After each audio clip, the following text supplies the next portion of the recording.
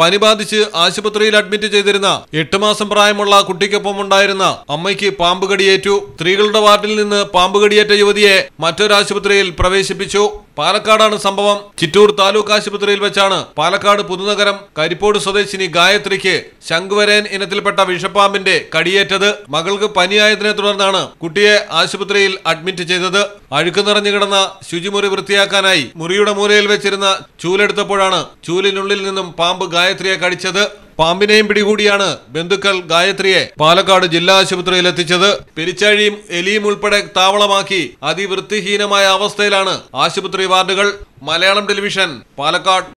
അക്കരയുടെ പൈതൃകം ഇക്കരയുടെ കൗതുകം.